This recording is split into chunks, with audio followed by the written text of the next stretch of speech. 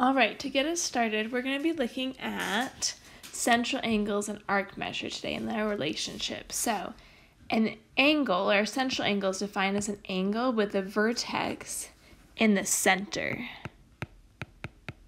of the circle where the sides are radii of the circle. So, as you look over here on the right, there's lots of different examples, but as one example, you could call RNS that angle right there a central angle. Similarly, like VMT is a central angle. Notice how they're all meeting there at the center, M.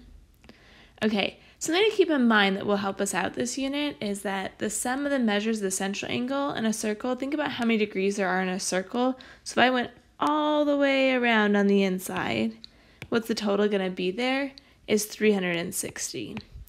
That's helpful because they'll also talk about things that are half of that. So half of it, uh, the diameter will be 180. So as they take a look here and they say, what's the measure of angle RMS plus the measure of angle SMT plus the measure of angle TMV plus the measure angle VMR. So if you add up all the central angles in a circle, they add up to 360. Okay, an arc measure is a part of the circumference of a circle. So on this one, hey, like we could look at this and say like, hey, one of the arcs is PQ. And we'll talk more about it in the next one, but there's things called like the minor versus the major arc. This is called a minor because it's smaller than 180, but you could also go around the other way. But often they'll give you another like point over here like C and they'll call it PCQ so you know which direction you're going. Okay, the big idea for today's lesson is that there's this relationship.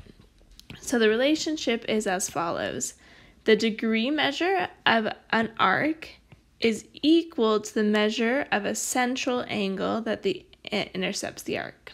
So, as we look over here on the right, they're saying, hey, this arc, which they've labeled AB, the measure of that arc AB is 60 degrees but so is that angle on the middle. So, so is the measure of angle AQB is also 60. And we're going to use that for most of today's lesson. And then we'll use some applications of it. So let's take a look at our two examples. Here they have this arc is labeled as 70, and they want us to find that indicated central angle. So these are equal to each other, so this is also 70 degrees. Over here, they're looking for the central angle that has a question mark.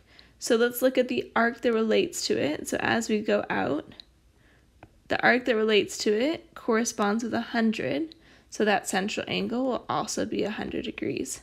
So notice this 160 over here we did